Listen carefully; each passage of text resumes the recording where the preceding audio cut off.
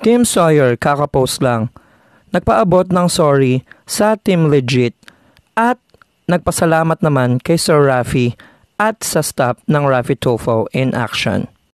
Sabay-sabay nating basahin ang kanyang bagong post.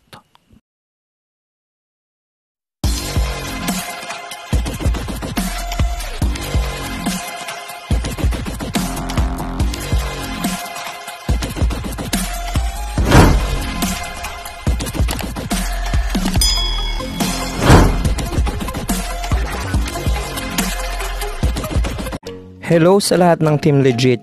Una, nais kong mag-sorry sa inyo sa lahat ng nangyari sa atin.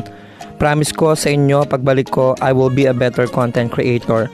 Regarding doon, nangyari sa Tufo, nais ko sana pasalamatan sila Sir Rafi at ang kanyang staff sa pagbigay sa akin ng opportunity para marinig ng tao yung side ko.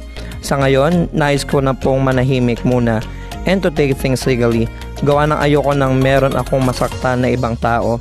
Para doon sa bata, kami na lang po bahala ng aking legal team pero I will assure you na lahat ng galaw namin ay para sa ikabubuti niya.